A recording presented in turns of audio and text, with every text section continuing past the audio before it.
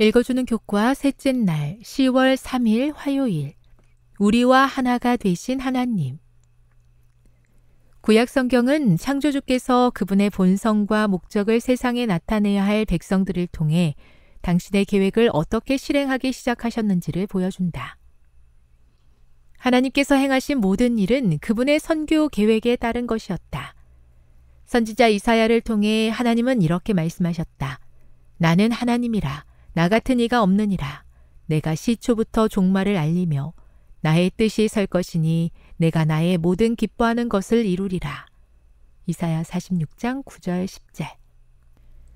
신약 성경에서는 인류와 함께 하시려는 하나님의 열망이 새로운 차원으로 전개된다. 그리스도의 성육신을 통해 에덴 동산에서 약속으로만 여겼던 일이 현실이 되었다. 마태복음 1장 18에서 23절에서 예수님의 탄생을 알리는 이야기를 읽어보라. 이 이야기는 하나님에 대해 우리에게 어떤 중요한 사실을 말해주고 있는가? 하나님이 우리와 함께 계시다. 임마누엘 하나님께서는 성수에서 그의 백성 가운데 거하셨고 이제 나사렛 예수의 육신 가운데 그들과 함께 거하셨다. 하나님께서는 예수님의 탄생을 통해서 육신이 되시고 인류 구원의 사명을 보여주심으로 우리와 함께 하시려는 지속적인 열망을 구체적인 방식으로 나타내셨다. 하나님의 아들은 완전한 인간이자 완전한 신성을 지니셨으며 내가 곧 길이요 진리요 생명이니 나로 말미암지 않고는 아버지께로 올 자가 없느니라고 확증하셨다. 요한복음 1장 14에서 18절을 읽어보라. 그리스도의 성육신에서 우리를 향한 하나님의 계획에 대해 무엇을 알 수 있는가?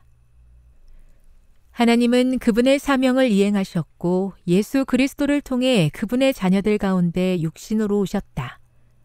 아버지의 독생자의 영광이요 은혜와 진리가 충만하신 분께서 구약의 예언을 성취하셨고 하나님의 신성한 계획에 따라 인간의 육신을 입고 우리와 하나가 되셨다. 선교의 하나님은 신실하게 그분의 목적을 이루고 계신 것이다. 교훈입니다. 하나님께서 행하시는 모든 일은 그분의 선교 계획을 따른 것이다. 하나님은 예수님을 보내심으로 예언을 성취하시고 선교의 목적을 분명하게 보여주셨다. 묵상. 우리를 향한 하나님의 사랑이 너무 커서 인성을 입으시고 우리에게 오셨습니다. 이것이 무엇을 의미하는지 생각해 보십시오. 적용. 우리와 하나가 되신 하나님의 사랑을 생각해 보십시오.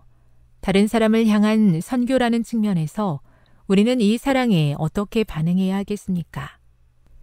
영감의 교훈입니다. 그분의 백성은 연합과 우애로 하나 되어야 하나님의 백성 사이는 연합과 우애가 있어야 한다. 그것이 하나님의 뜻하신 바이다. 십자가에 못 박히시기 바로 전에 드리신 그리스도의 기도는 당신의 제자들로 하여금 당신께서 아버지와 하나가 되신 것처럼 하나가 되게 하여 세상으로 하나님께서 당신을 보내신 것을 믿게 하려 함이었다. 이러한 가장 감명적이고 놀라운 기도가 각 시대를 통하여 내려와 현대까지 이르게 되었다. 부조화 선지자 520 하나님의 뜻대로 모든 것이 이루어지고 있음을 감사합니다. 주의 오심이 더딘 듯하고 이루신 것이 분명히 느껴지지 않는 세상에 거하지만 이 땅과 가정과 교회 가운데 주님의 귀한 뜻을 온전히 이루어 주시기를 간절히 기도합니다.